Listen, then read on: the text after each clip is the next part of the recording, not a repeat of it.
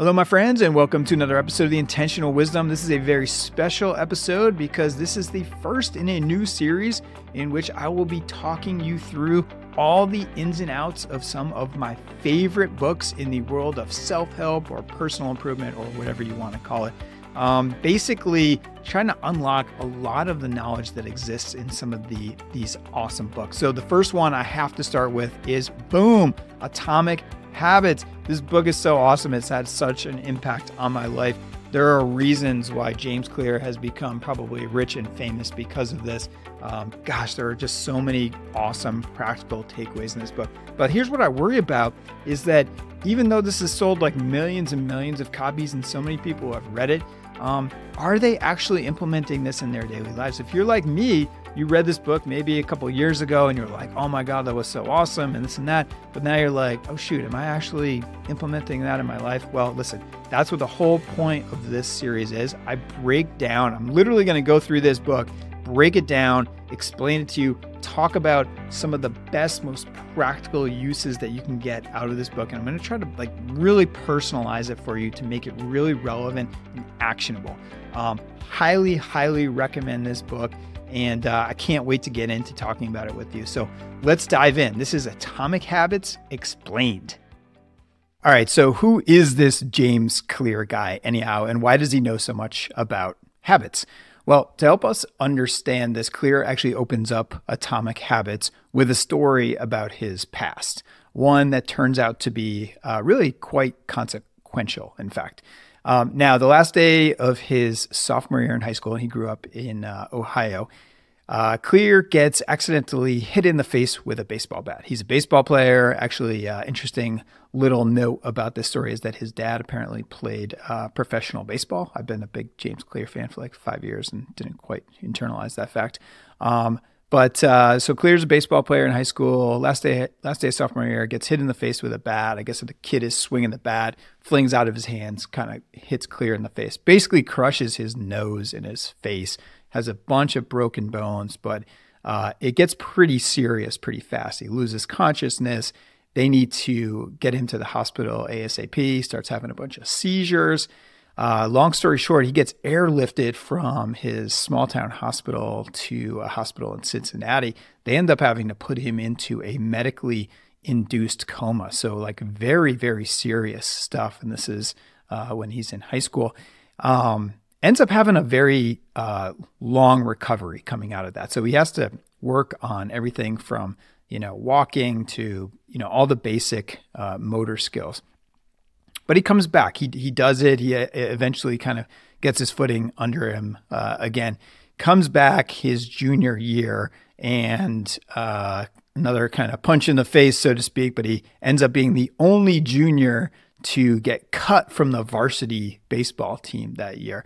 And again, his dad had played professional baseball, so that's probably even more of a hit to the ego only only plays uh, 11 total innings in his senior year of high school. So all the while um, he's you know kind of working on his comeback from this injury, uh, but just doesn't really have the success uh, as a baseball player. So ends up finishing high school, goes to Denison University in Ohio, uh, where he decides to walk on to the baseball team as a freshman. He actually makes the baseball team um, as a freshman. And it's here at Denison in college where he really starts to find his footing and starts to figure out the power of focusing on these small habits. And he had started to kind of figure that out with uh, re- recovering from his injury and learning these motor skills and stuff like that. But he starts really dialing in the habits and just like small stuff like keeping his room clean in college, um,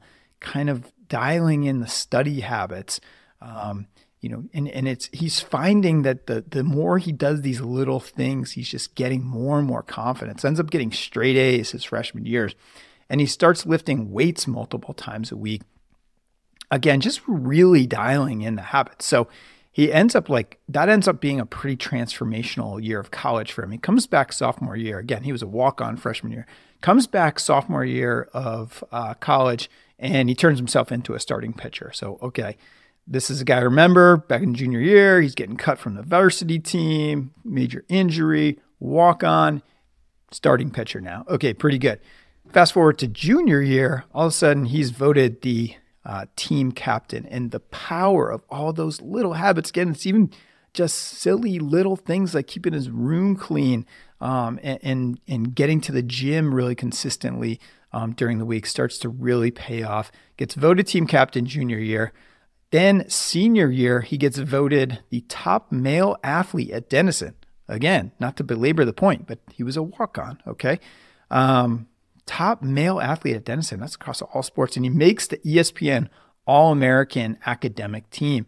Also earns the university's highest honor, the President's Medal. So this kid, as a junior in high school, cut from the varsity squad, ends up figuring out habits, ends up uh, what he says, you know, hey, I never made it pro, but uh, I achieved something more important, and that's that I fulfilled my potential. Um, so that's pretty cool. So, but anyways, that is just a little bit of background on where he started to figure out why habits are so important and the in the major impact that he started to see um, in in his life. And so he looks back at that injury of getting smashed in the face with that bat as kind of forming the foundation for uh, all things habit and habit change.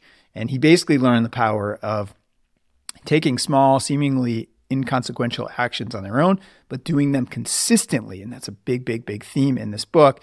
Um, and how that ultimately lets the magic of compounding do its work. And we're going to talk about compounding um, throughout this um, overview of this book. So that's what this book is all about small habits, atomic habits, and how they ultimately grow into something massive. So we'll dive into the mechanics of what Clear has learned about habits and how he proposes uh, that we both forge new ones and kick bad ones.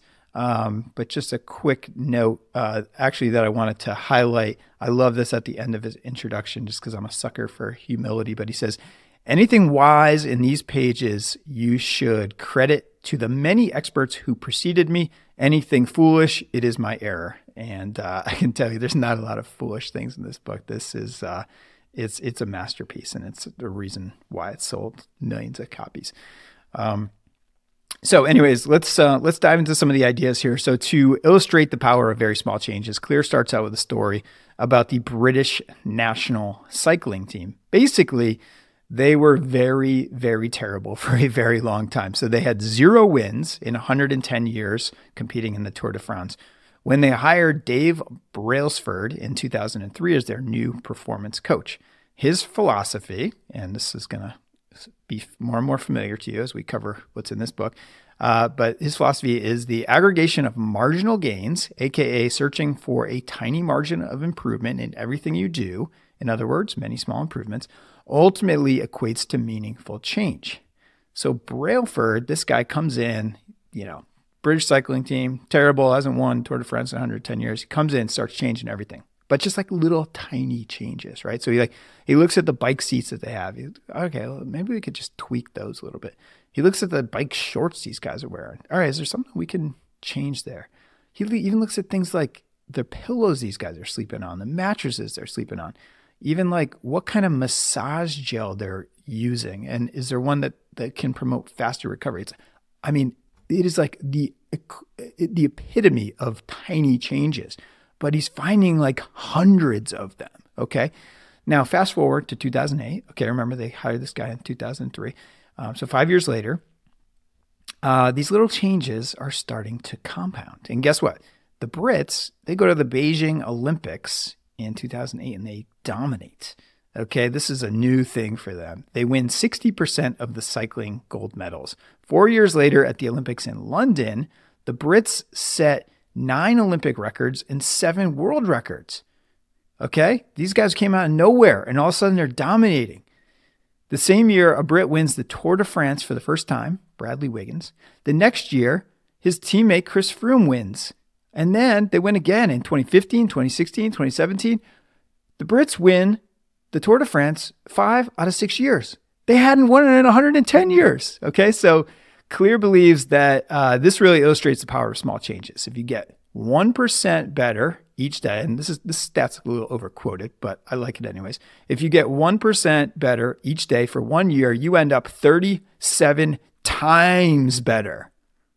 1% better each day for one year, you end up 37 times better. That's the magic of exponential growth and compounding.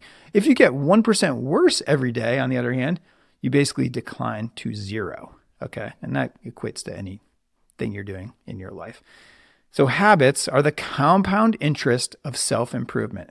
That is the first of many, many quotes I'm going to quote and emphasize from Clear because this book is just full of them. And uh, by the way, what I'm going to do is I'm going to take all my favorite quotes from this book.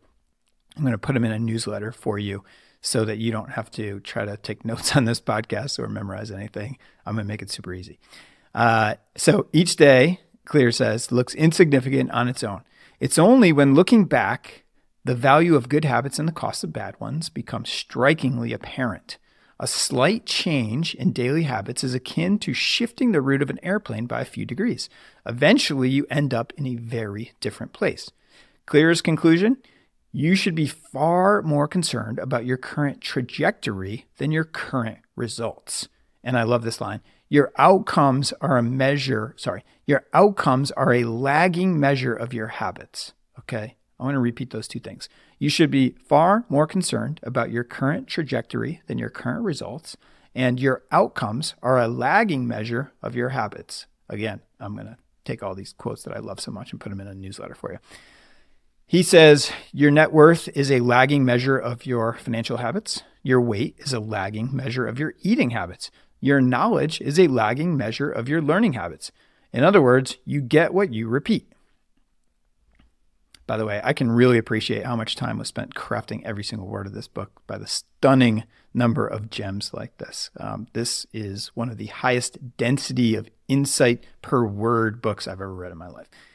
Another great way that Clear words this concept time magnifies the margin between success and failure. Good habits make time your ally, bad habits make time your enemy. I'm just bolding that one as I record this because I'm like, yeah, I'm going to include that in the newsletter as well. That one's really cool. Um, okay. Now, we all know that it can take a little while to see the benefits of our good habits. Clear says habits often appear to make no difference until you cross a critical threshold and unlock a new level of performance. Like any compounding process, the most powerful outcomes are delayed. This is why it's hard to get new habits to stick. It's the equivalent of heating ice cubes from 25 to 31 degrees. Uh, sorry, my European friends. We're talking about we're talking about uh, Fahrenheit right here. Um, all the action happens at 32. Uh, but the effort was not wasted. The effort to heat the ice cube from 25 to 31 was not wasted, even though all the action happens at 32. We just need to break through what he calls the plateau of latent potential. That's what leads to quote unquote overnight successes. The world, of course, does not see all the work that was done in the dark. So, how do we do this? Well, here's something, uh, a little counterintuitive idea that Clear asserts. He says, forget about goals. Okay, that may be something that you're not used to hearing. That's right. He says, forget about goals. Spoiler, he's going to suggest that we focus on systems instead.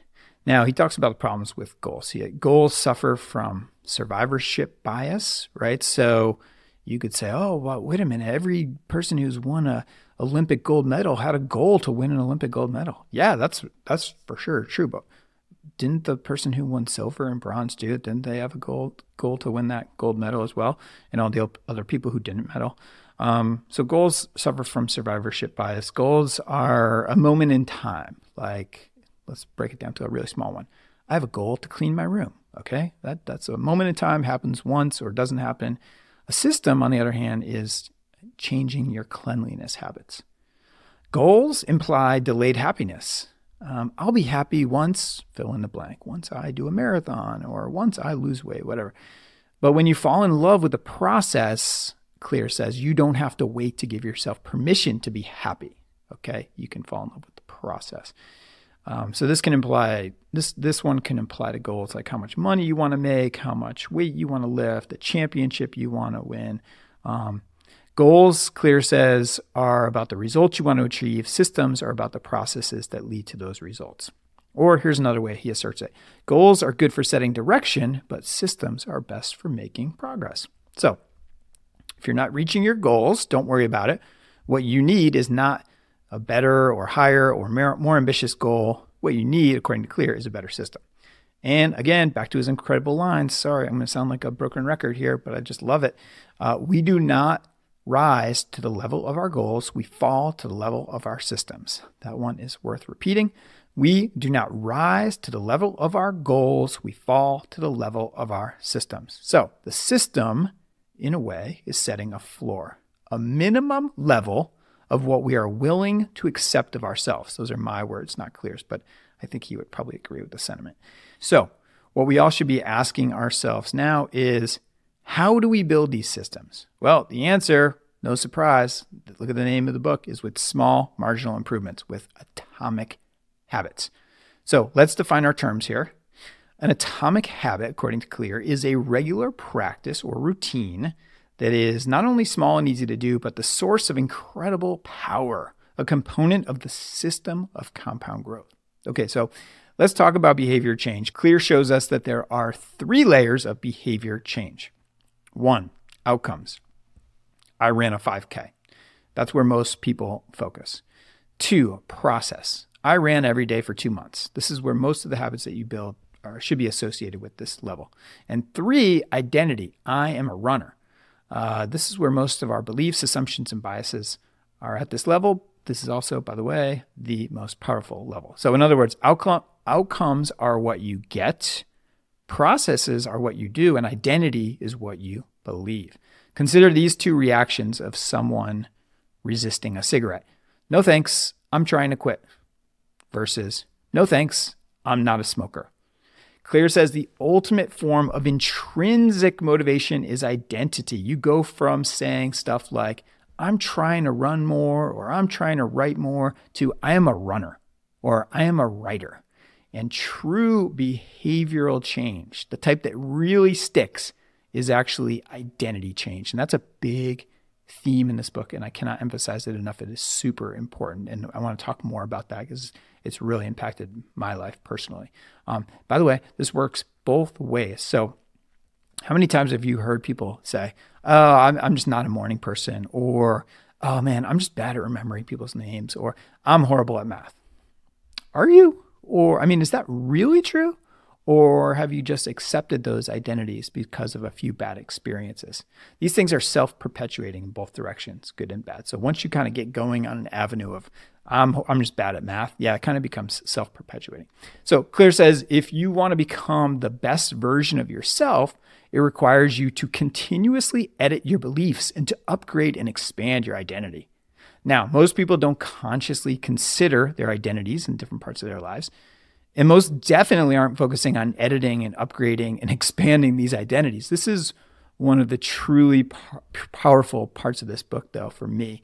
Um, and you know, I, have really latched onto this idea of of identity based habits uh, quite a bit, and I can talk a little bit more about that. But um, this brings up an important question: Where do I where do our identities come from? Clear says they emerge from our habits, from what we repeatedly do. So do you go to the gym every day? Well, you are someone who is committed to fitness. That is part of your identity. Do you go to church every Sunday? Well, you are somebody who is religious. That's part of your identity. Do you study biology every night? Well, you are somebody who is studious. That's part of your identity.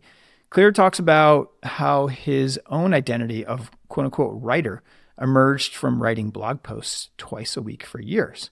Um, I actually had a very similar experience with writing and in podcasting. At some point, you cross this Rubicon where you're like, oh, guess I I guess I am a podcaster. I guess I am a writer, right? I mean, it was really hard for me. I, I wrote a book like back in 2012 called CFA Confidential, and it was weird because like it was such an identity shift that I'm someone who is writing a book. You're like, oh, my, like the idea of like calling myself an author was like very weird. But eventually, I got around to being like, yeah, I wrote two books. You know, like uh, I'm an author. Like I'm okay calling myself that. That's part of my identity.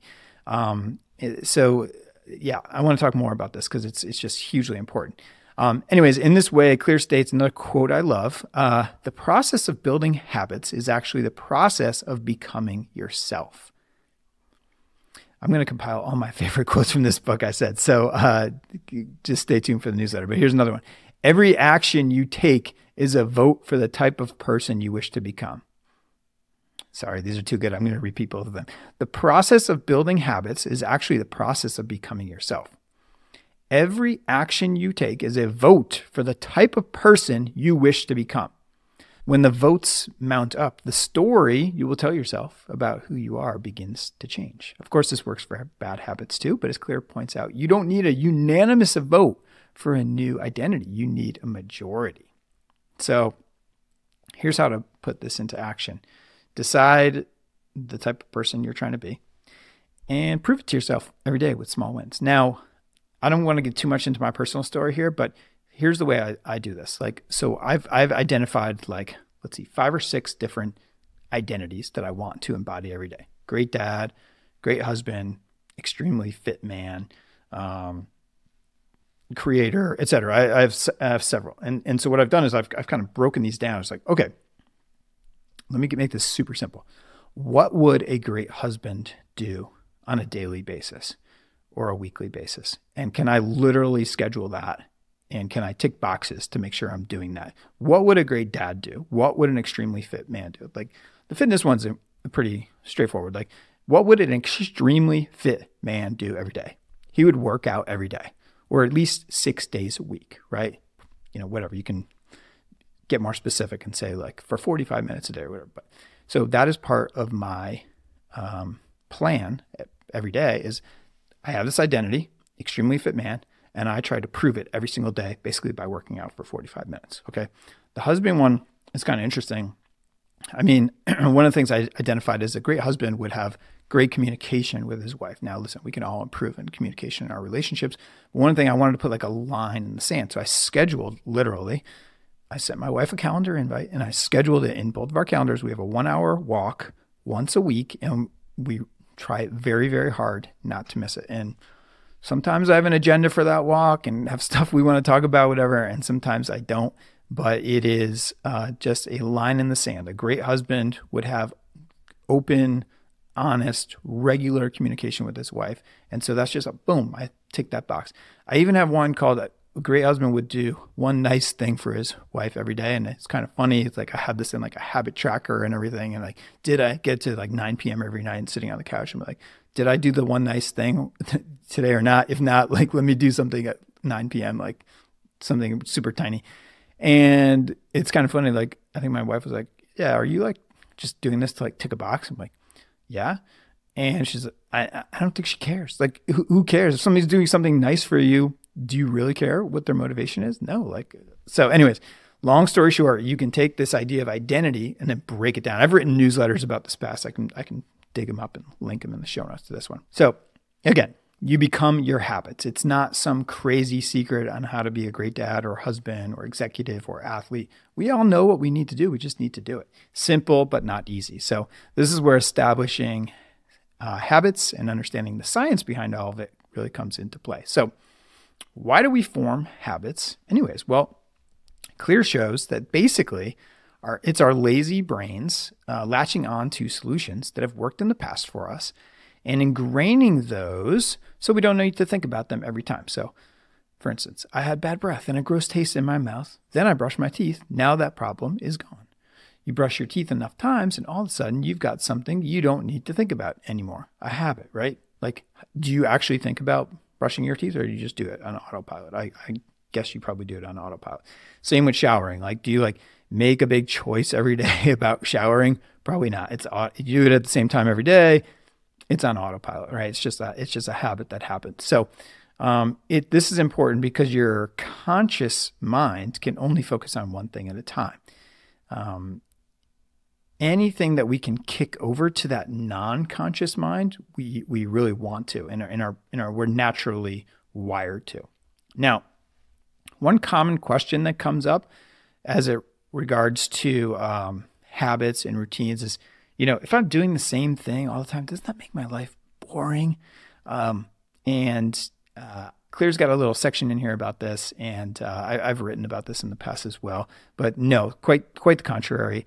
Um, the more routine you can make your life, uh, the more freedom you kind of uh, enable for yourself. So, like Steve Jobs is probably the most famous example of this. Guy wore like the same black like turtleneck or whatever every single day.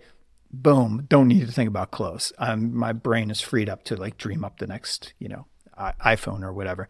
Um, I, I, try to do this on like a micro level. I basically eat the same thing for lunch every day, and it's just like I don't want to waste brain power in the middle of my day to be like, oh, where should I go for lunch? Oh, should healthy or not healthy? You know, this and that. No, so boom, this is what I do for lunch. All right, let me let my brain stay focused on this problem I'm trying to solve.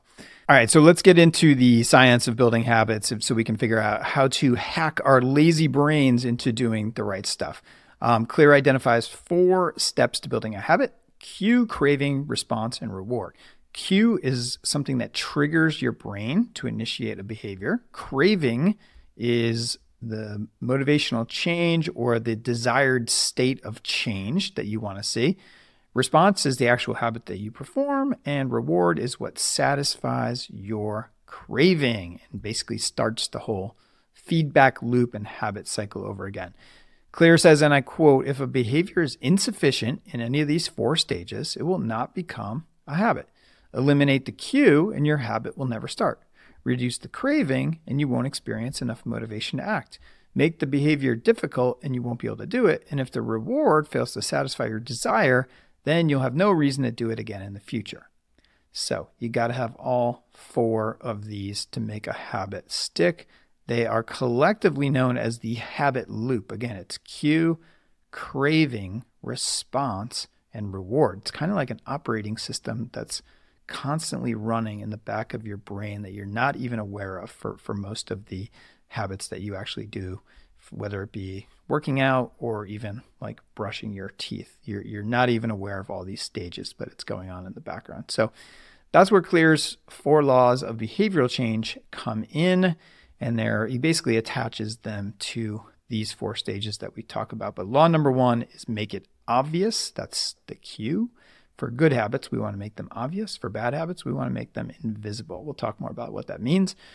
Uh, law number two, make it attractive. So this is the craving. So we have to make it something that we want to do or that we, you know, that we enjoy. Um, and for bad habits, we want to make bad habits unattractive. Uh, law number three, make it easy. I love this one. And if it's a bad habit, make it difficult. And law number four, make it satisfying. Again, bad habit, make it unsatisfying. So, if you want to create a positive habit in any part of your life, according to Clear, you just need to answer these four questions. How can I make it obvious? How can I make it attractive? How can I make it easy? And how can I make it satisfying? Clear asserts that any goal we are failing at, the weight we haven't lost, the business we never started, the cigarettes we never quit, the answer to our failures is found somewhere within these four questions. So, if we can make our habits obvious, attractive, easy, and satisfying, we exponentially improve our chances of success. And who doesn't want to do that? If we can't, we're almost surely destined to fail. So, isn't that kind of interesting? If you're failing at something, go back and look at these four things the answer is probably somewhere in there. Now, the bulk of Atomic Habits is dedicated to deconstructing these four laws.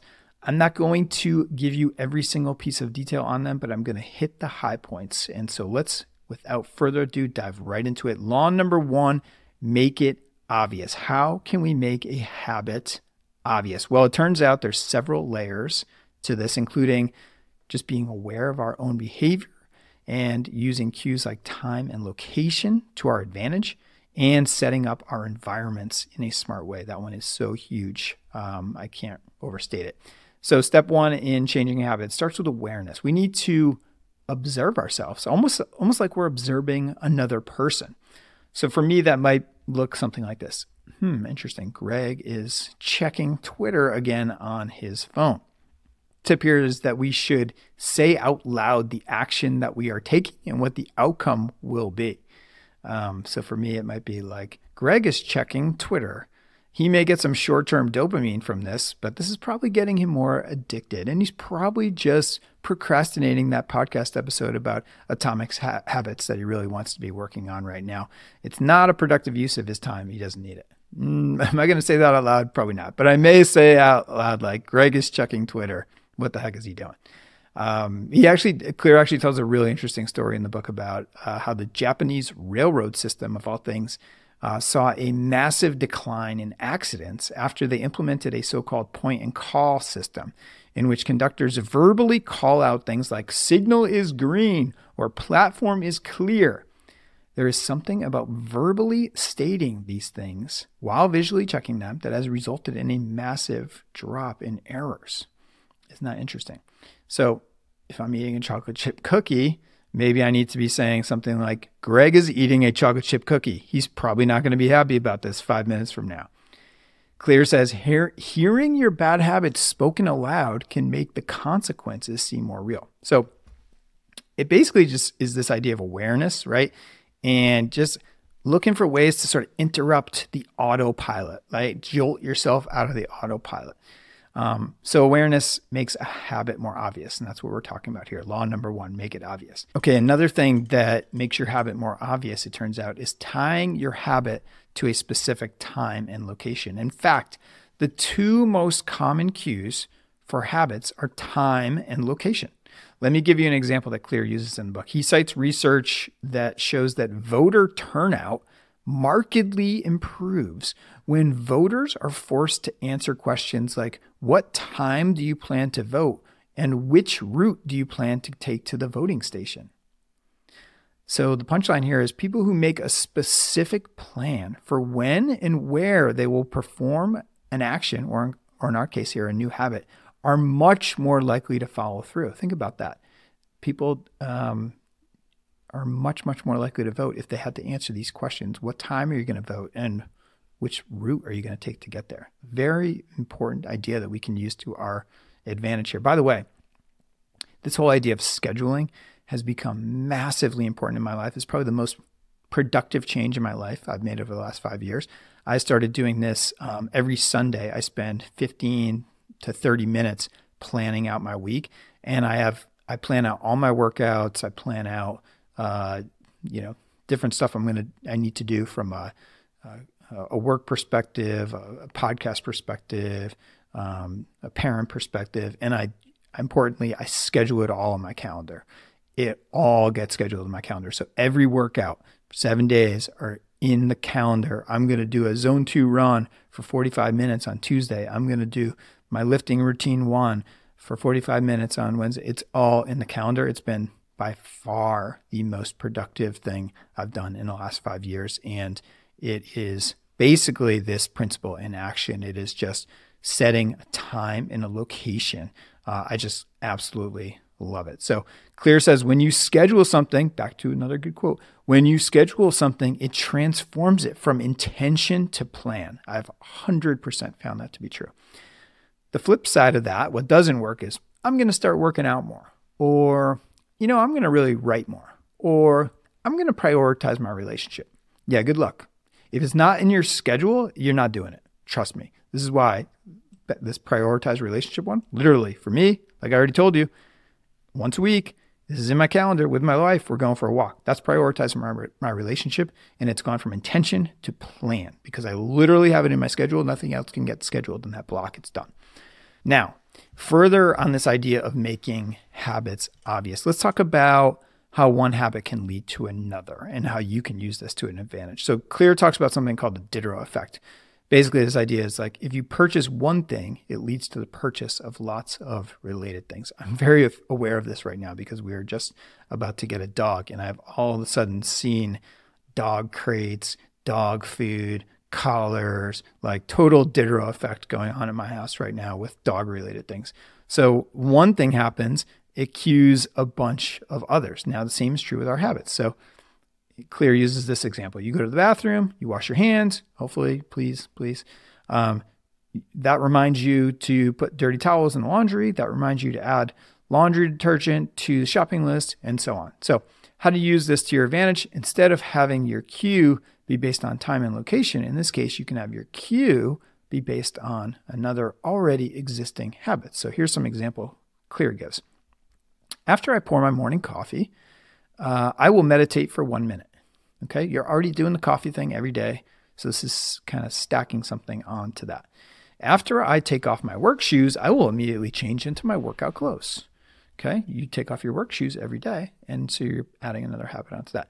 After I sit down for dinner, I will immediately say one thing I'm grateful for. This is a cool one. I do this with my family, and uh, we, we all enjoy it.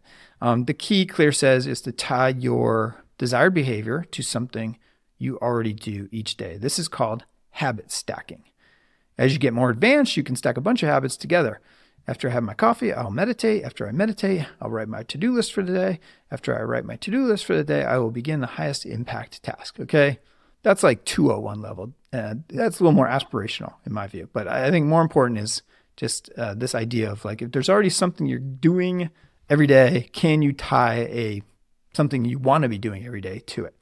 So again, we're talking about law number one, make it obvious.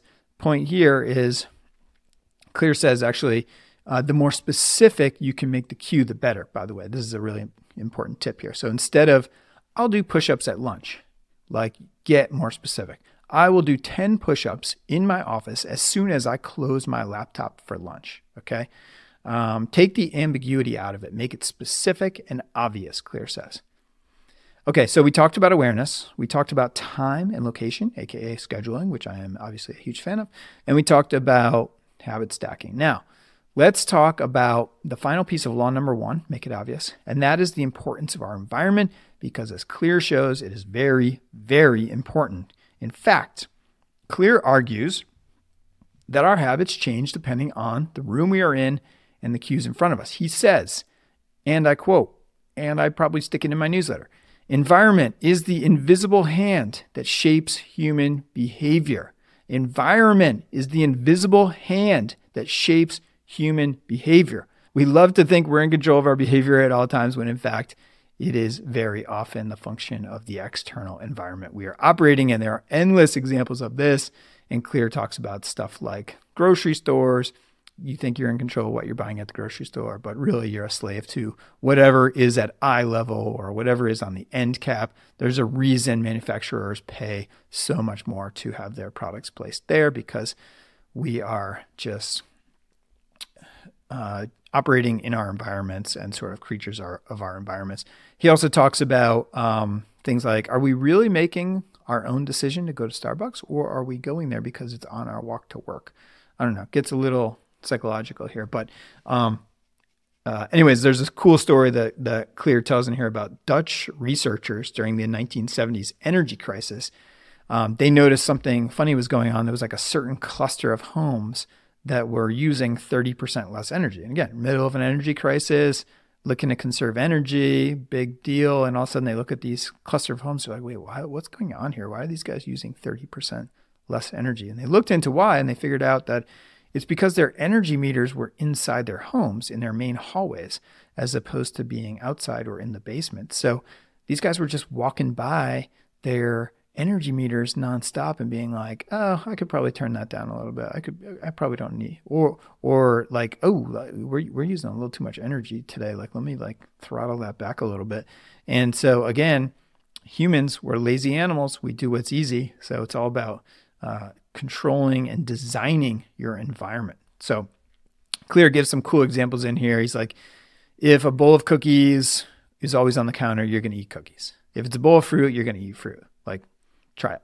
Um, if beer is at eye level in the fridge, you're going to drink it. If you have to go outside, if you have to go like to the outside fridge to get it, eh, there's a little bit more friction. So you want that more friction for less desired behavior, less friction for more desired behaviors. This is not rocket science, but it is shocking how much our environments shape our behaviors.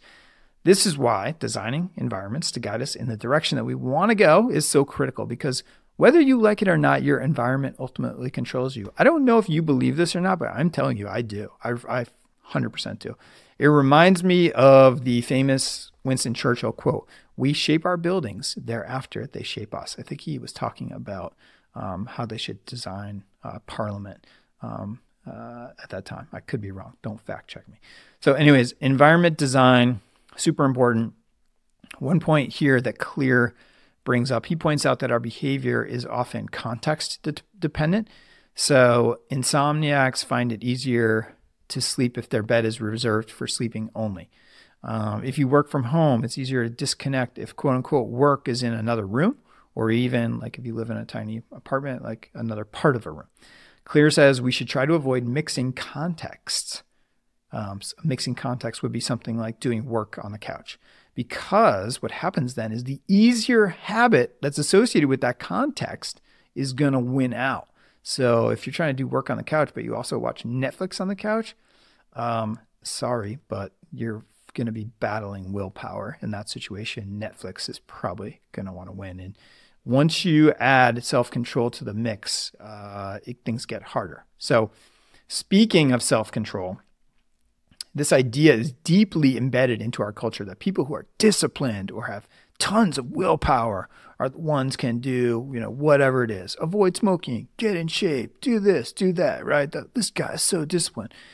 Actually, um, what the research what the research shows, and as Clear points out, is that the people who are doing all these impressive things are just better at structuring their environment, so they don't need to use self control. So, to recap, law number one make it obvious. We want to be aware of our behavior. We want to tie the cues for our habits to time, location, or other habits, aka habit stacking. And we want to intentionally structure our environments to be the invisible hand nudging us in the right direction. Okay, so let's talk about law number two make it attractive. The more attractive an opportunity is, the more likely it is to be habit forming. Okay, that uh, makes sense.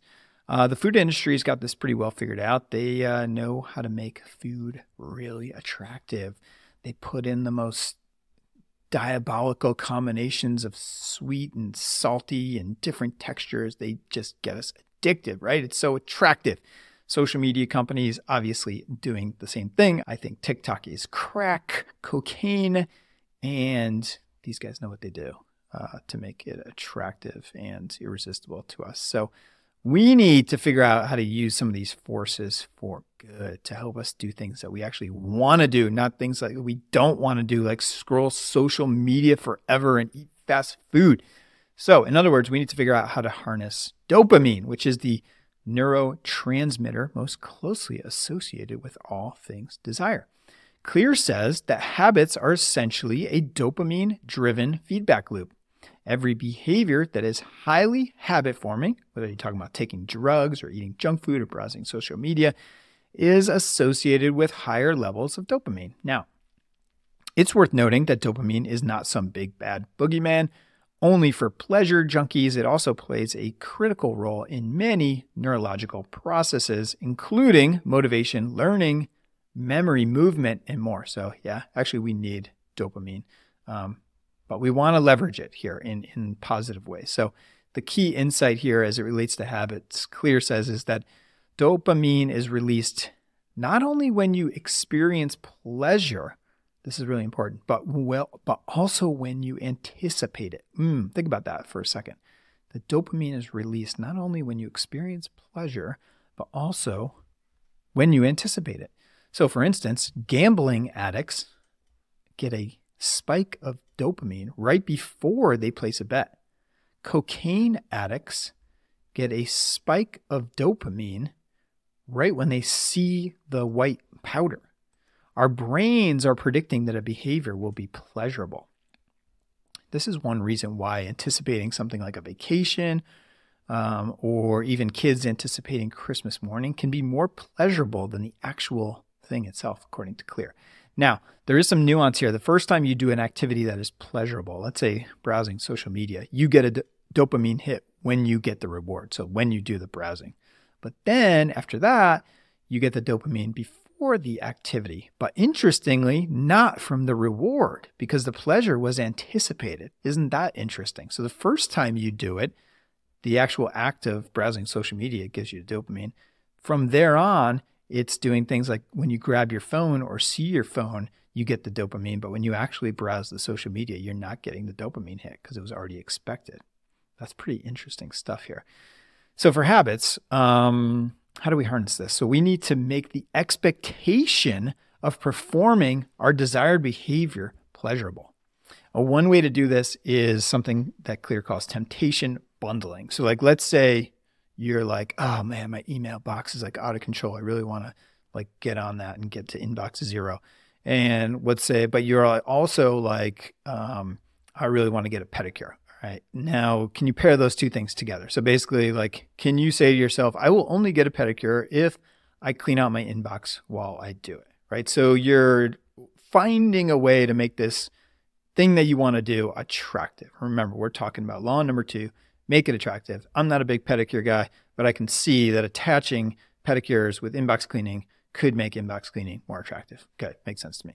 Um, you can also use habit stacking in this regard, by the way. So um, you could do something like after I do 10 push ups, I get to do something I want, like check Facebook. And the idea here is eventually you'll look forward to doing the 10 push ups because you know you get the uh, Facebook as a reward.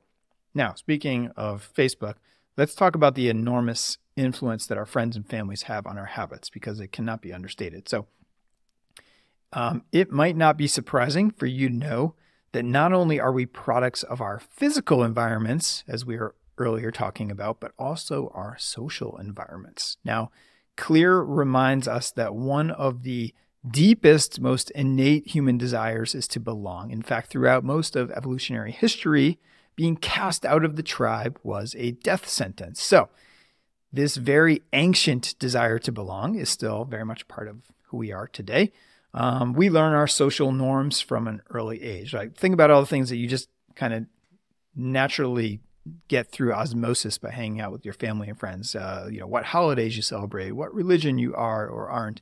Even small things like Clear gives the example like how much to spend on a child's birthday. Like you don't just like make some conscious decision like come up with some figure by doing something. You just like figure like what what do, what do people do? Like what, what do we normally do? You know.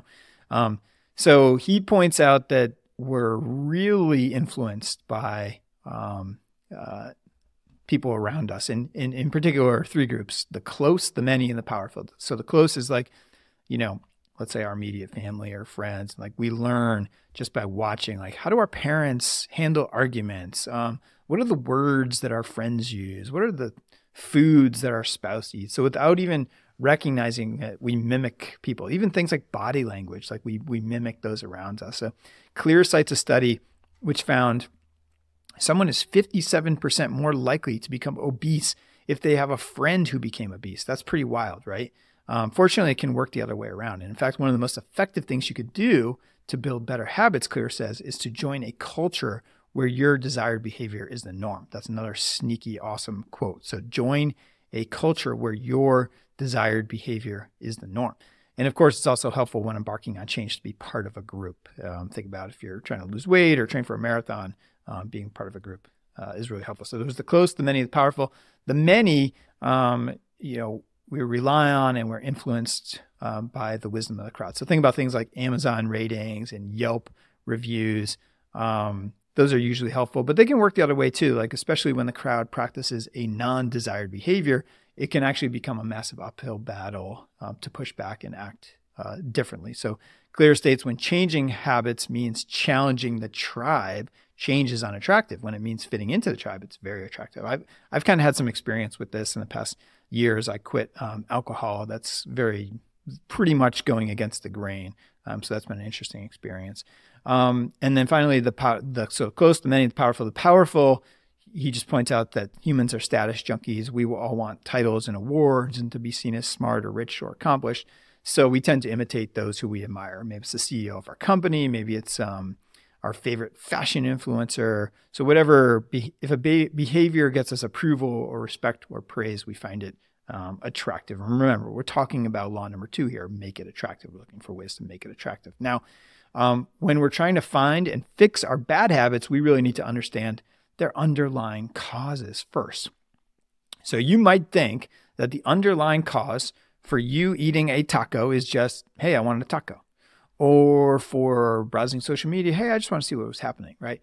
Clear shows us that what is actually going on here is these are just modern behaviors or vices in some cases that attempt to address the real underlying motivations we have, which tend to be timeless and closely related to survival. So these are broken down into there's like let's see uh, seven of them here. So the here here's the kind of um, underlying motivations again that he says are timeless. Um, we uh, need to conserve energy, obtain food and water, find love and reproduce, connect and bond with others, win social acceptance and approval. Those two sound similar. Uh, reduce uncertainty and achieve status and prestige. I think there's some overlap in these.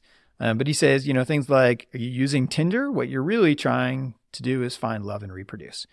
Uh, are you posting nonstop to Twitter to try to gain followers? What you're really trying to do is achieve status and prestige. So the point is like to look, I guess, a little bit beyond the behavior that you're doing to say, why am I really doing this? Okay. So again, he says, your habits are solutions to ancient desires. It's kind of an interesting phrase, ancient desires. Now, here's the powerful part, according to Clear. There are many ways to address the same underlying motive. You happen to be using one that maybe was picked up because it was easily accessible, or your parents used it, or it was how your friends dealt with a problem. But maybe it turns out that that habit is not the healthiest way to deal with it. So, for instance, some people learn to reduce anxiety with cigarettes or alcohol. Others learn to do it by going for a run, right? So, same underlying motivation, two different ways to go about um, dealing with that. So, whenever we find a habit that successfully addresses a motive, we develop a craving to do it again. Okay, back to that idea of craving. The key, of course, is to find desirable habits, the running, not the smoking, that help to address the underlying motive and to train ourselves to crave those activities at the expense of others. So, how do we reprogram our brains to enjoy so called hard habits? Well, sometimes it's a simple mindset or even language shift. So, I love this idea of I get to instead of I have to. And I try to preach it, and my wife, like, actually just reminded me of something of this the other day. I said, I have to do something. She's like, You get to. I'm like, Oh, you're turning my own stuff around on me. But um, so you don't have to go for a run. You get to go for a run. You don't have to wake up early. You get to work, wake up early. You don't have to work out. You get to work out. Um, this is like kind of philosophical as well. It's like uh, Alex Toussaint from Peloton has a quote like, "Man, smile. You woke up today, right?" This is just it's just a it's just a mindset, right? Like think about how short a time we're alive for. Like fix your attitude. You know what I'm saying? Like that that's that's what this comes down to. So both realities you have you have to and get to are true. Yes, they are both true, but we do have some choice in the mindset that we choose. So mindset can be an important way for us to embrace hard habits. So let me recap on law number 2, make it attractive. We're going to want to use dopamine to our advantage. We can do this via so called temptation bundling or attaching a behavior we want to try to cultivate with something um, we are uh, we, we enjoy doing already. Uh, we're going to want to keep in mind the enormous impact that our family and friends have on encouraging both good and bad habits, and consider this idea of joining a tribe where our desired behavior is the norm. I just love that idea. Um, we're also going to want to remember that our habits are really just addressing primal needs that we have and consider are there other ways that we can address those primal needs? And finally, we're going to want to look and see if there are any simple mindset shifts we can take that can help us make small but potentially mighty mind shit, mindset shifts. Uh, try it. You know that there's no downside. Uh, okay, so that's it for law number two. Let's talk about law number three make it easy. At the beginning of this section, Clear talks through one of my favorite concepts from the book, and that's saying something because uh, there are so many great concepts. But that's this idea of motion versus action, right? So, yeah, you may not be aware of this distinction. Let me explain it to you. Motion, as he defines it, is doing things like planning, strategizing, and learning. I mean, who could say those are bad things? They're all good things, right? But they don't really come with results, right? Planning, strategizing, learning, okay, whatever. Then he's got action. Action is basically doing the thing. Okay, so think about this. Instead of planning articles to write, for instance, actually writing them. Okay. And so a lot of people, including myself at various times, get caught up in quote unquote motion activities. There's a lot of just motion happening and things happening, but am I actually making progress? Maybe not. Um, so why do we get so caught up in this? it, it actually is because there's an illusion. We think we're making progress, um, and we're doing so without the risk of failure. Okay, so like, let's say an example could be something like, all right, I want to write a book someday. Okay, let me read 10 books about writing book. And then all of a sudden you're like spent like six months reading books about how to write a book. And you're like, why don't I just write a freaking book? You know, like, let me just get started and make all the mistakes and figure it out. All right. So motion and action. Action is just making stuff happen.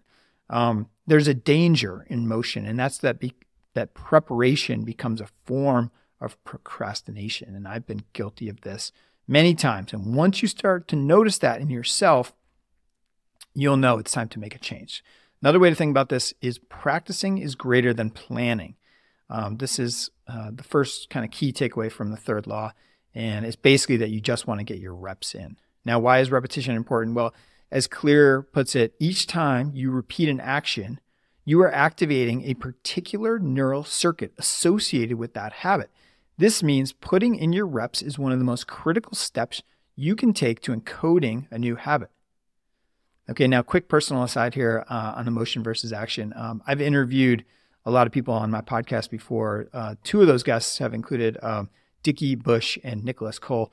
I don't know if you know these guys, but they're both uh, writers. They've written books. They've started writing businesses. They're basically have made millions, both of them, off of their online writing careers. And they absolutely just preach this idea of getting reps. Their whole philosophy is just keep taking shots, shot, shot, shot, shot, shot. Right? Is like they write LinkedIn posts or tweets or whatever, and they so basically their whole idea is about action, action, action, and then keep feedback loop. What do I learn from my action? What, how can I implement that in my next action and just keep firing? Um, and it, they have found, and obviously in terms of like the amount of money that they've built and all that kind of stuff, they found it much more um, effective than sitting around for a few months trying to guess what will resonate with their audience. So just keep firing, just keep action, action versus motion. I love it. Um, now, at some point, with enough reps, Clear shows that you pass a point where the new behavior becomes automatic. In many cases, your non conscious mind takes over. Again, think back to the teeth brushing or showering. As Clear puts it, the, the frequency with which you practice a habit, let's say walking for 10 minutes every day after breakfast, the more quickly it can cross that imaginary habit line. So, okay, we know we need, excuse me, tons of reps to get a habit to stick. How are we going to re- realistically do that? Well, let's think back to the law we're on. We're on law number three make it easy. Easy. Okay. I'm going to tell you something you already know. You are lazy. And I know this already because I am too. And uh, in fact, I know we all are. That is part of the human condition, being lazy. Well, lazy, maybe, maybe that's a little too harsh of a word. But as Clear discusses in the sec- next section of the book, um, we're all wired to choose the most convenient option. He says, and I quote, energy is precious and the brain is wired to conserve it whenever possible. He goes on to say, look at any behavior that fills up much of your life and you'll see that it can be performed with very low levels of motivation. Hmm. Habits like scrolling our phones, checking email, and watching television steal so much of our time because they can be performed almost without effort. They are remarkably convenient. Oh man, he's right. The way that Clear puts it is that every habit is just an obstacle to getting what you really want. So, dieting is an obstacle to getting fit, meditation is an obstacle to feeling calm, journaling is an obstacle to thinking clearly. We don't want the habit, we want the outcome. So we need to do everything in our power to make the habit as easy as humanly possible. Make it easy, make it easy, make it easy.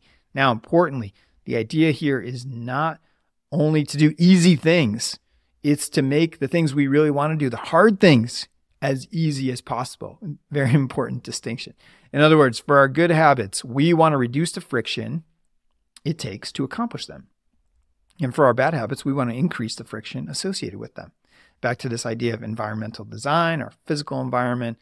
You know, you set out your workout clothes, that's going to make it much easier for you to work out. It's not only your physical environment, though, like your digital too, like we discussed, like deleting your social apps, like that cleans up your environment, makes it much easier to make the right choice, uh, not to scroll social media. So, the ultimate goal according to Clear, is to answer this question How can we design a world where it's easy, easy to do what's right? So, related to this, one idea that Clear talks about that I really like is that he describes habits as on ramps. And he talks about many decision points that we have during the day that shape the outcomes that we'll ultimately have. So, an example he gives is as follows. He says, if he and his wife put on their workout clothes at 5:15 p.m., they are going to go to the gym and a cascade of healthy habits follow. If they don't, then they aren't. And it's more likely they find themselves eating unhealthy food and watching TV. They missed the on ramp. These on ramps are particularly critical when trying to get a new habit to stick. Clear has instituted something called the two minute rule for this, which states when you start a new habit, it should take less than two minutes to do. Okay, this one's kind of interesting. So if he says, let's say you want to read every night, start this habit, read one page every night. Let's say you want to run three miles, start this habit, put on running shoes every day. Okay. To me, okay, I'm not quite there with him on that this one, but let's talk through it because I think I can get there. If you want to start a meditation practice, just start meditating for one minute every day. Okay. I'm with him on the read one page every day, and I'm with him on the meditate. The putting on the running shoes, I can see where he's going, but I'm not totally with him. Um, but the idea is to make it easy to start. Okay, okay, I, I'm coming around to, to this now. So we already know that you know once we go up that on ramp, we're much more likely to follow through with the action. The idea here is to make those first two minutes easy. Okay, okay, clear. I'm coming around to this idea now, putting on the running shoes. I understand. That first two minutes is easy. Once you got those running shoes on, you're much more likely to go running. I got it. I got it. Um, so you want to write a book, commit to writing one sentence a day. One sentence, right? Uh, that seems like that's going to take you forever at that pace. But the point is, if I think about it for myself, if I'm going to commit to writing one sentence a day, I'm probably not like writing that as I walk down the street or while I try to feed my kids or something like that. And probably have come to my office. I have opened up my laptop. I have maybe put on some um, classical music in the in the in my earphones. And guess what? Once I write one sentence, I'm writing more. Okay, it's all of this like floss one tooth idea. You floss one tooth, uh, you're not going to stop there. So as Clear says, the point is to master the habit of showing up Instead of trying to engineer a perfect habit from the start, do the easy thing on a more consistent basis. As you master the art of showing up, the first two minutes simply become a ritual at the beginning of a larger routine. Okay, so that's all his whole thing, like two minute rule, like just get that two minute habit down. Just get yourself to show up. That's another way of saying just get yourself to show up, basically. Um, okay, so we talked about how to make good habits easier, let's talk about how to make bad habits harder. So, one method Clear talks about is the use of so called commitment devices, which he describes as a choice you make in the present which controls your actions in the future. Now, coincidentally, I had the author of a book called Your Future Self uh, on my podcast. His name is Hal Hershfield. And we had this whole discussion about a commitment device called the K Safe, uh, formerly called the Kitchen Safe, which is basically like a piece of Tupperware that locks and you can use it as a commitment device. So like let's say you have a real problem with like chowing cookies at all the times, you can like put the cookies in that thing and give your wife the combination and you literally don't know how to get them. Um, you could do the same thing like with your phone. Like let's say every night during dinner for you want two hours without your phone, you put your your phone in the K safe so this idea of commitment devices is is is pretty cool. Clear talks about um, uh, people different things that people have done on the service. So he talks about people who have their internet uh, automatically cut off at 10 p.m. Uh, obviously to avoid like late night scrolling and stuff like that, um, or purchase individual packages versus bulk. That's a pretty good one, um, actually. If you don't want to just like mindlessly eat out of a huge you know bag or box of something to go with the individual packages. Um, Clear, this is kind of an interesting one. Clear says that when he's looking to restrict calories, he asks the waiter at the restaurant to split his meal and box half of it before he even serves it to him. That's pretty cool. I kind of like that idea. So the key is to make it harder to do the bad habit. Um, this one relates to accountability as well. So like, let's say you really want to get up and go for a run every morning at 6 a.m., uh, if you have a friend that you've agreed to meet, it's going to be much harder for you to be like, ah, screw it, I'm staying in bed. Uh, if you know that somebody's like out there in the cold, like waiting for you. So, further to this idea, Clear talks about choices that we can make, often one time choices that we can use um, uh, to almost lock in desired behavior. So, if he says stuff like, if you want a better sleep, take the one time action of removing TV from your bedroom or buying a good mattress. Oh my gosh. Uh, my wife probably doesn't want me to talk about it, but I had to wean her off of TV when we were um, earlier in our relationship. Uh, and thankfully, we, we did that. No TV in the bedroom. Um, if you want to eat less, take the one time action of buying smaller plates. Um, I do believe uh, in countries like Japan, um, they use smaller plates, and there is really something to that. I, I actually have tried this myself quite a bit. Uh, just at home on a normal night eating dinner, I try to go for a smaller plate as opposed to a bigger plate.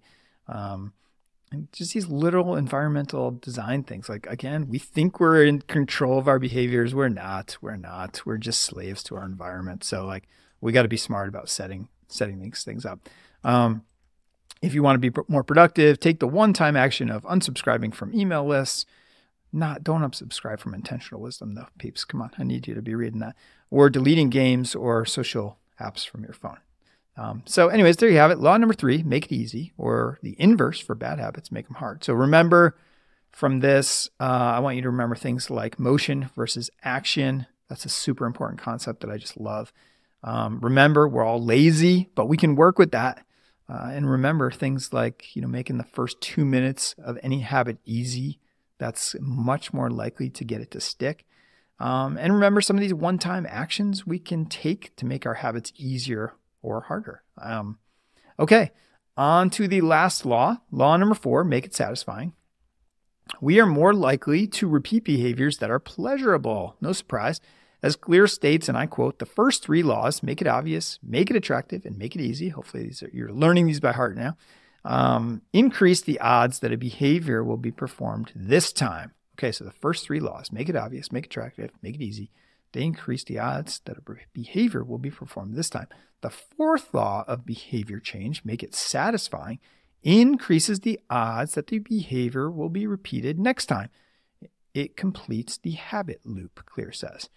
But it can't just be any satisfaction, it, it has to be immediate satisfaction. Hmm. Now, there is something of a mismatch between our near term actions and long term effects.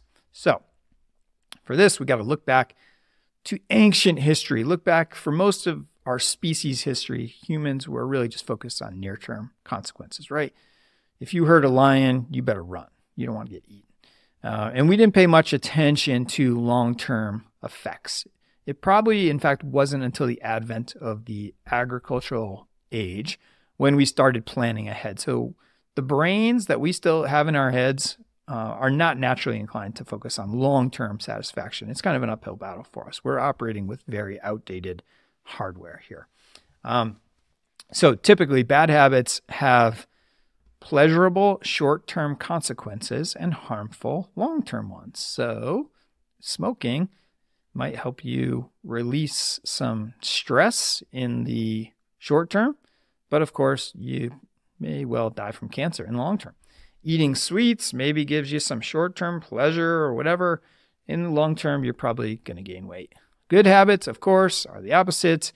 Exercise may be hard. Hopefully, it's not too painful, but you know, whatever. It's an effort. Um, so, it, but you know, on the long term side, it hopefully helps us live longer and healthier. You know, writing may be exhausting mentally, but in the long term, it gives us some satisfaction that we've published our work. So, in other words, another great quote here the cost of good habits is upfront, the benefits are later. Vice versa for bad habits. It actually reminds me of one of my favorite quotes easy choices, hard life, hard choices, easy life. I believe that is attributed to Jerzy Gregorek. So we're in this constant battle between instant gratification on one hand and better lives for our future selves on the other. The former usually has a stronger pull. We already talked about. We got these brains in our head that were designed not for this world we're living in. So the cardinal rule is what is immediately rewarded, again, how do we bring this back to habits? What is immediately rewarded is repeated. What is immediately punished is avoided. Okay, I'm gonna say that one more time. What is immediately rewarded is repeated. What is immediately punished is avoided. So that means that most people will spend their days seeking what Clear calls quick hits of satisfaction. But that's not you and me.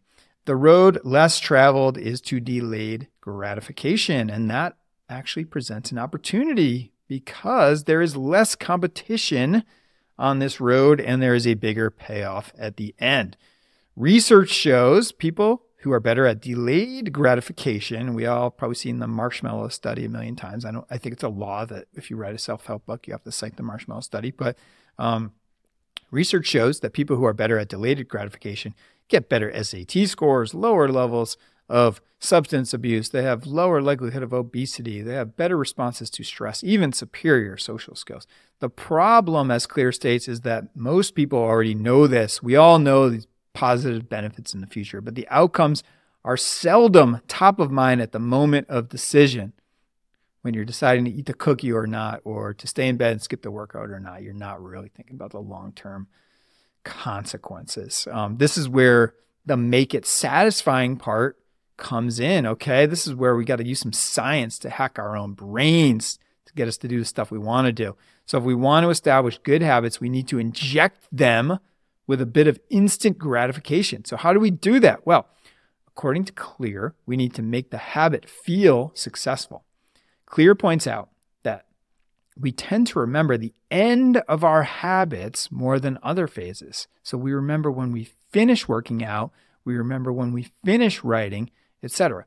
So, how can we inject an element of satisfaction into that part of the habit? And one uh, one that is consistent with the identity that we're trying to help us build. In other words, a reward for working out shouldn't be like a bowl of ice cream because that's not consistent with what we're trying to build. But maybe a reward is something like using a massage gun on yourself for five minutes. Now, one thing I like to do because I'm always strapped for time is just like something super simple, like putting a check on a calendar. Like, did I work out today? Yeah, boom, check and it, is like sneakily satisfying. So look for ways to make things satisfying. We'll talk about some of this, but eventually, as Clear points out, intrinsic rewards like a better mood, more energy, reduced stress, they kick in and you become less reliant on these secondary rewards.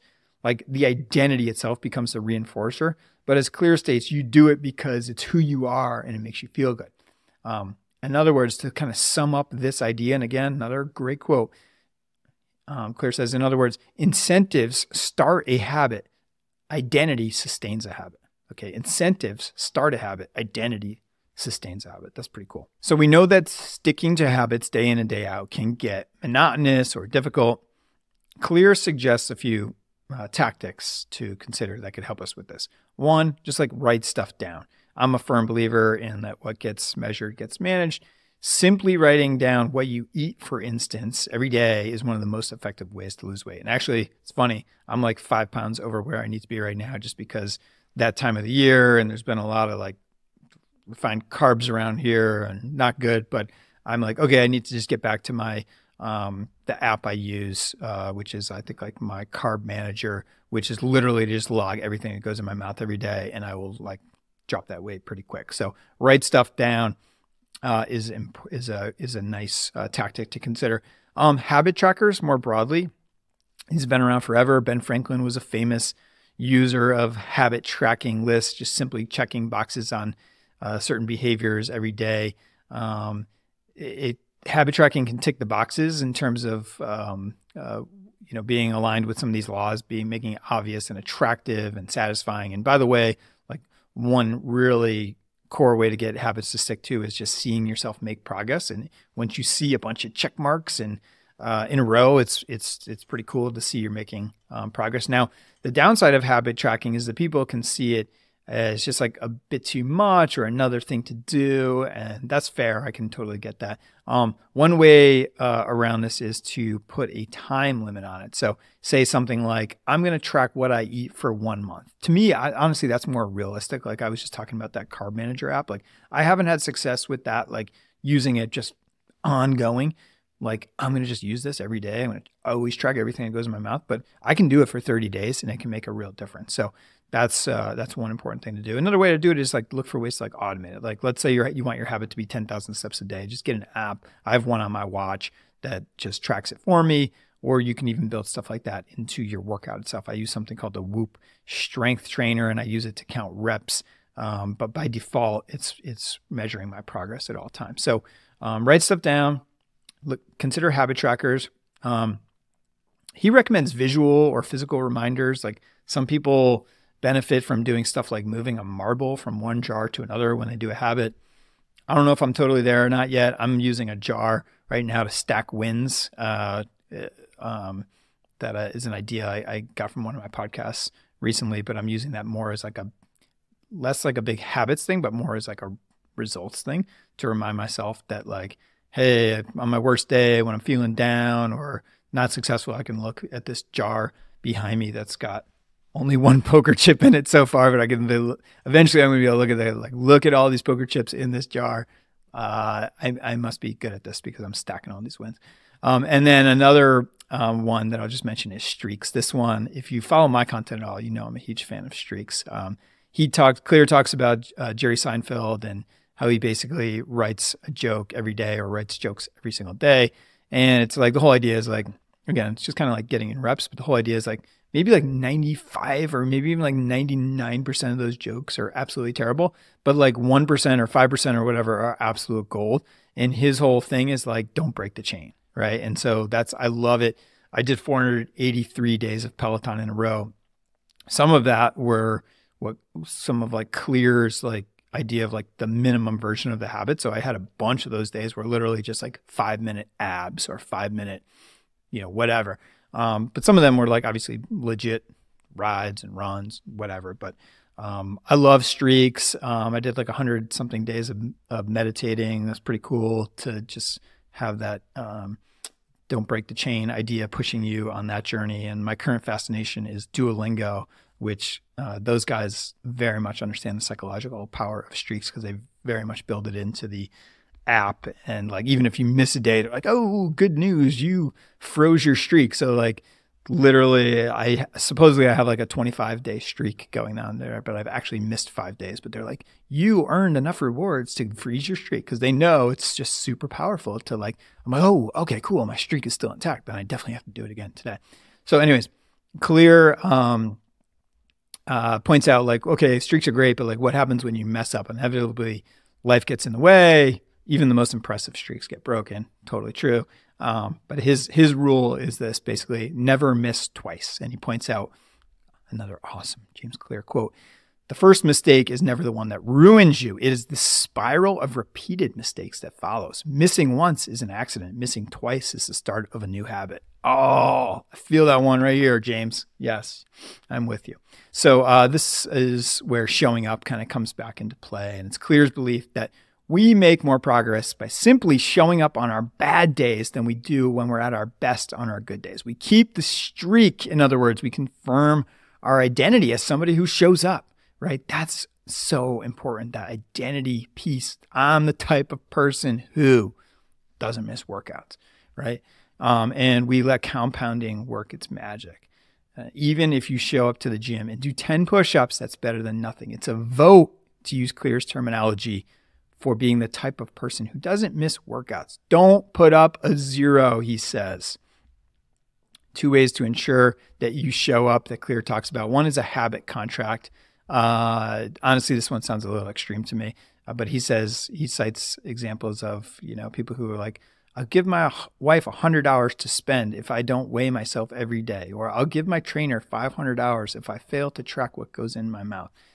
Again, that one's not for me. Maybe it'll be for you. Um, the second one is is for me accountability partners Research shows that if we have an accountability partner, it greatly increases the chance that we'll take action. I talked about how we wouldn't want to leave a friend stranded out in the cold waiting for us to go running in the morning. Um, I've honestly been terrible at this for most of my life. I've always been like, yeah, I know accountability, accountability partners, yeah.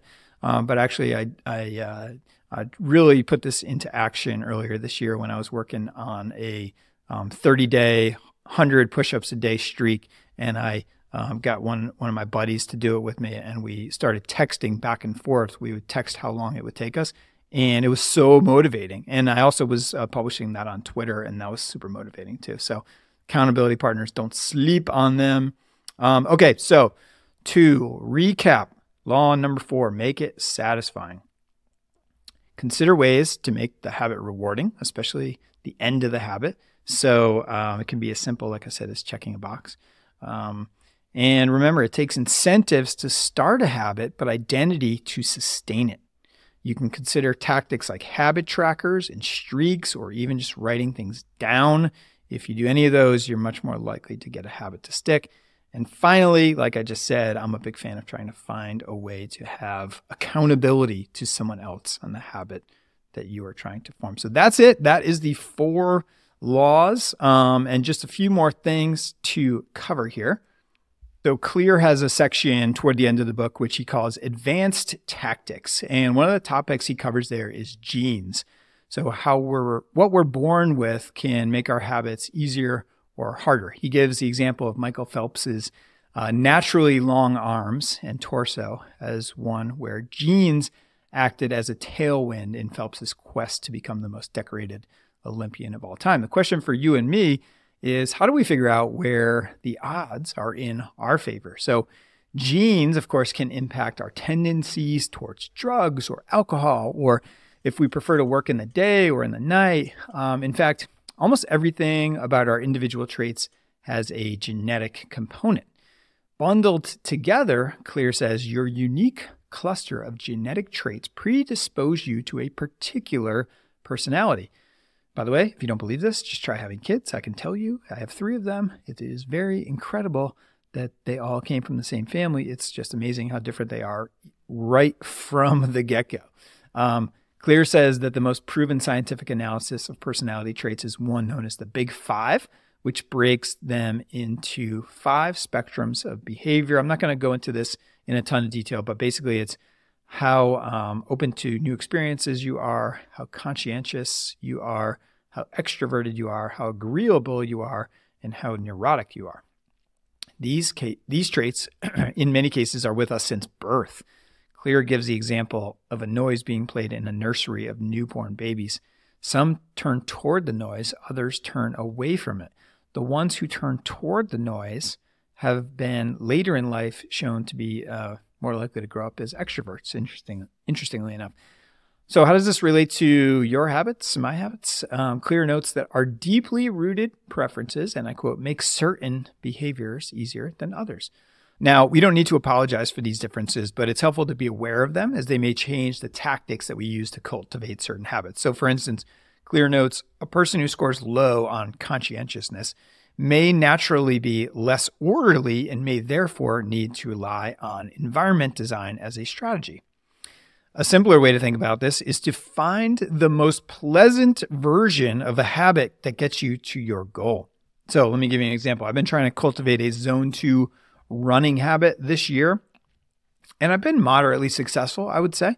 Um, but I realized uh, that when I play pickleball, which I just started this year as well, I'm in zone two most of the time and I'm having a lot of fun. So that's just kind of a way that I'm looking at is something that I'm like naturally drawn to. I'm like, okay, I can do this, and I just en- naturally enjoy it much more. So that's probably um, a good way to get a habit to stick. Uh, again, we need remember we need to make these things satisfying.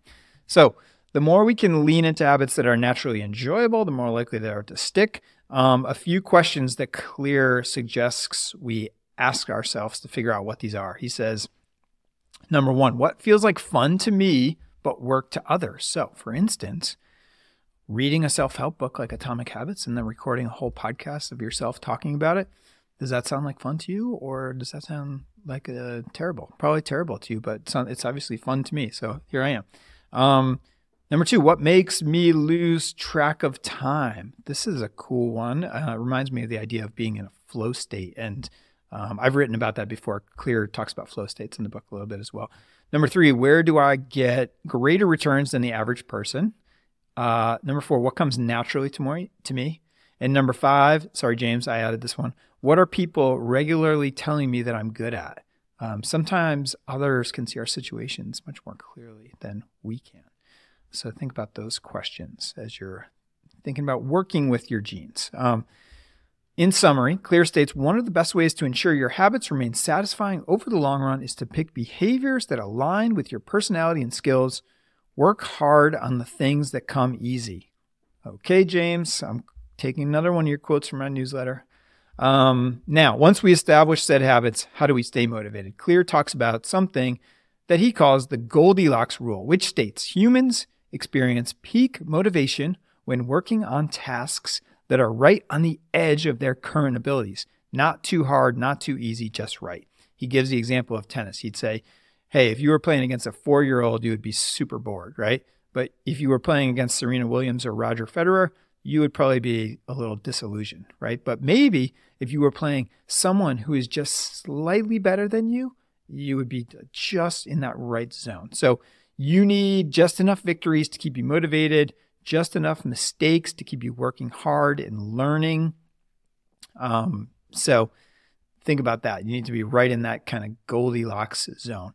Um, we've talked about making habits easy to get them started, but once they're established, we need to make sure that we've got areas where we can keep making small improvements and and keeping uh, keeping ourselves motivated. So, like I mentioned before, I use this Whoop Strength Trainer app um, for lifting, and it's just a very cool, easy way to track like my reps and weights and stuff like that.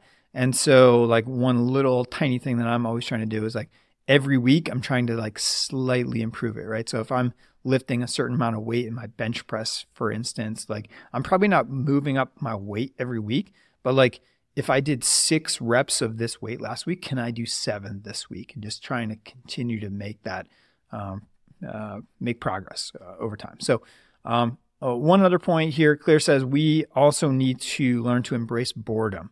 So, Clear asked a trainer of elite weightlifters what separates the truly elite from the merely good. The answer the elite ones are the ones most able to handle the monotony of the same lifts over and over again, day in and day out. So this comes back to the idea of showing up even on your bad days, of not putting up the zeros. At some point, you're not going to feel like fill in the blank, lifting weights, going for a run, writing 10 pages, whatever. But if you show up and do it and eventually learn to embrace that monotony because you know what it's earning you, you know what it's helping you become, then you've got a chance to become truly excellent. Um, so that ability to stick to the schedule is to use Clear's terminology, what separates professionals from amateurs. Okay, so just show up, show up. That's it. Now, um, we've spent a lot of time talking about the benefits of cultivating good habits. Are there drawbacks to? Maybe. Clear points out that if we're not too careful and our habits get too much on autopilot, we can stop paying attention to little errors. Let's say in our weightlifting form, or we can get overconfident and not seek feedback or improvement. There's also the risk that our identity, somewhat ironically, becomes too static or fixed based on our current habits. He argues that we need to build in natural periods of reflection, maybe a year end review, for instance, to check in, to see how we're doing on our current habits and if the ones that we are currently practicing are still serving us. I've heard Clear talk about different seasons before that we go through in life. So maybe there's, as an example, maybe there's like a before kids season, or maybe there's like a during kids season, maybe there's an empty nester season, just as, as an example. Um, a different set of habits may serve us in each of these seasons. Maybe the seasons are much shorter than that. I don't know. Um, so it's best not to think of any habit or routine as permanent, just appropriate for a season. Along these lines, Clear cautions us that we need to be careful of our identities becoming too fixed. So we all know athletes or CEOs or even soldiers coming back from war who find themselves lost when the careers that they identified with so much come to an end. Um, Clear says that when chosen effectively, an identity can be flexible rather than brittle. So instead of something like, I'm an athlete, you could say, I'm the type of person who is mentally tough and loves a physical challenge, right? That's much more pliable. Instead of, I'm a CEO, maybe it's like, I'm the type of person who builds things and creates things or leads people, et cetera. Again, much more flexible. And if you have a big change, uh, easier to sort of uh, overcome that hurdle mentally.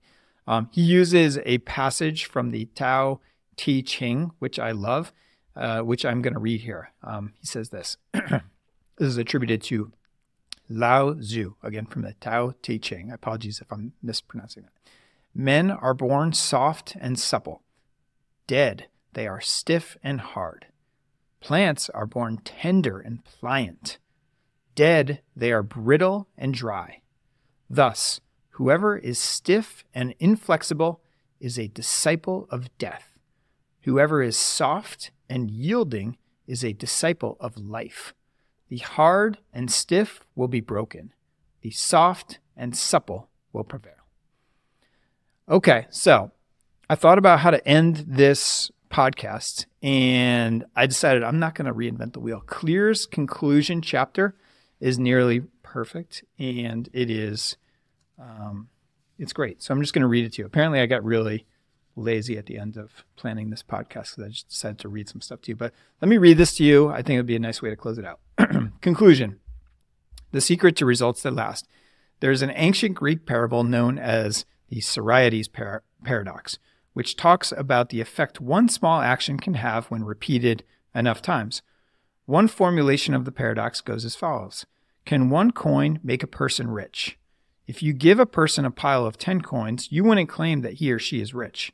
But what if you add another and another and another?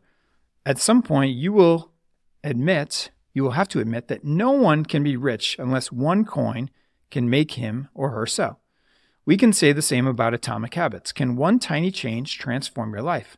It's unlikely you would say so. But what if you made another and another and another? At some point, you will have to admit that your life was transformed by one small change. The holy grail of habit change is not a single 1% improvement, but a thousand of them.